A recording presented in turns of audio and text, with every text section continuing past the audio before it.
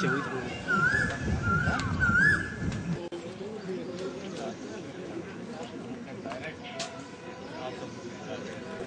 white में आ गया white level में आ गया વાઇટ થી લ્યો જેટલા વાઇટ છે ને ખોલે ને પછી મત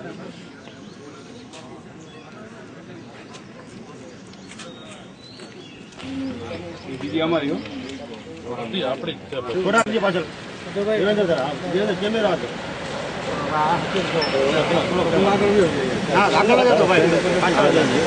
આમાં નથી જો ઓમાં છે જામાં આવ્યું ને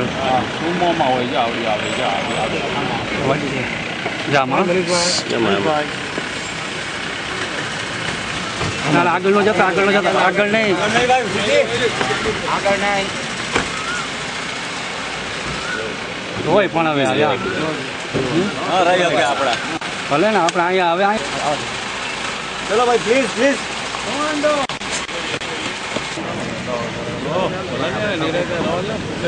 નીચે ભાઈ પકડી નીચે નીચે ફોટોગ્રાફર નીચે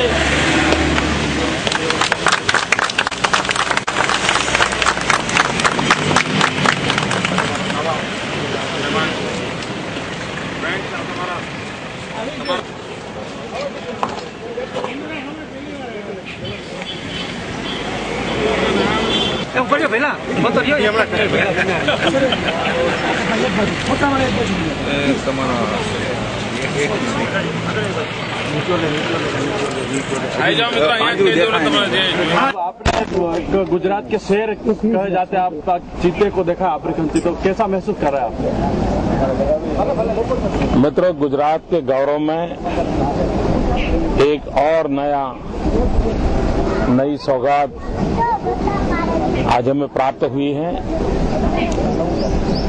अर्ली फोर्टीज में हमारे देश में चीता देखा गया था और शायद हिंदुस्तान में कोई एक ही एनिमल ऐसा है जो पूर्णतया नष्ट हो गया वो है चीता अर्ली फोर्टीज के बाद देश में कहीं पर भी चीता नजर नहीं आया 1945 तक जूनागढ़ में भी इस सकरवार म्यूजियम के पास चीता था लेकिन गत साठ वर्ष से चीता हमारे सकरबाग में भी नहीं था आज भी हिंदुस्तान में कहीं पर भी चीता नहीं है जू में भी नहीं है जंगल में भी नहीं है प्रकार की प्रजातियां हैं अफ्रीकन चीता जो ज्यादातर ईरान में देखा जाता है एशियन चीता जो ज्यादातर ईरान में देखा जाता है और दूसरा है अफ्रीकन चीता ये जो चार चीता है दो मेल दो फीमेल ये सिंगापुर से हम लाए हैं लायन के एक्सचेंज में लाए हैं और कोशिश ये है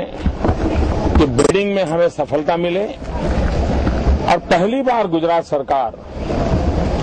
वर्ग चार के कर्मचारी को विदेशों में भेज करके चीते के संबंध में पहली बार ट्रेनिंग लेने वाले हैं उसको ट्रेन कराएंगे और बाद में उसकी केयर कैसे की जाए उसका प्रबंध होगा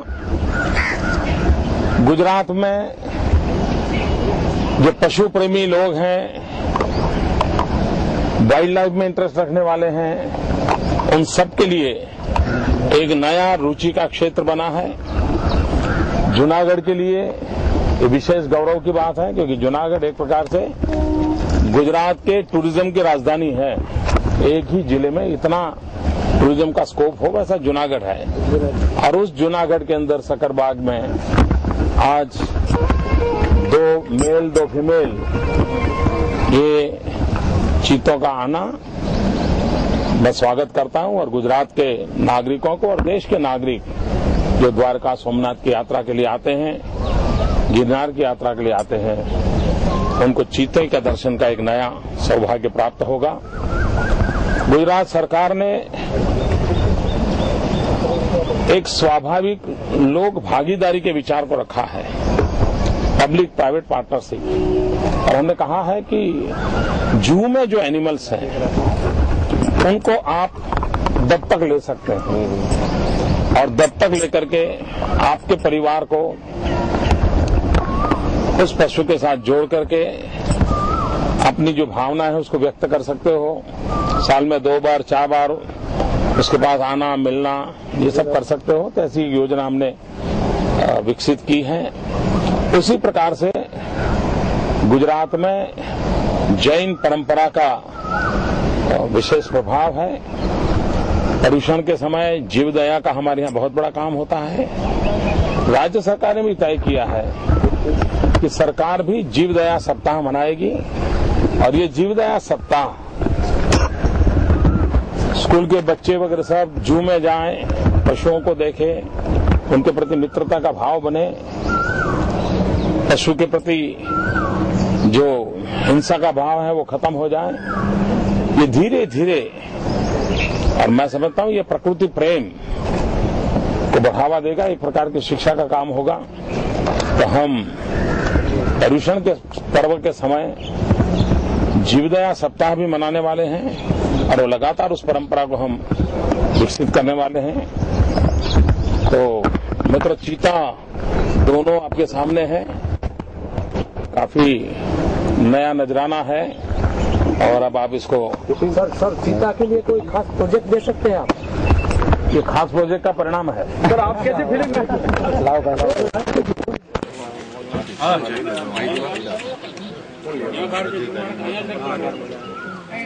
હું ત્યાં ગીરમાં મળ્યો તો એ તે એ અહીંયા છે મોટા થઈ ગયા સાહેબ આ પ્રતિભા અત્યારે હેન્ડ્રીયર થઈ ને આ જે કબ છે એમાંથી સાહેબ પછી પાછા મોકલી આપશો પાછળ આ એની સિક્વન્સ છે સર જેમ છ મહિના વધતા જાય એમ તુલસી સાહેબ વિસ્તારમાંથી પાછળ જે બચ્યું છે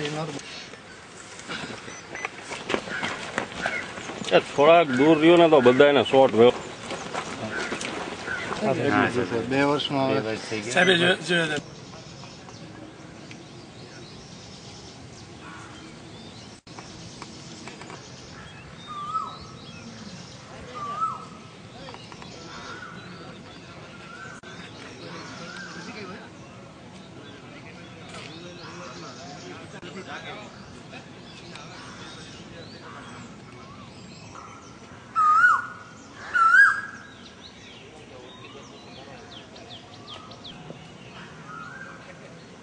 હવે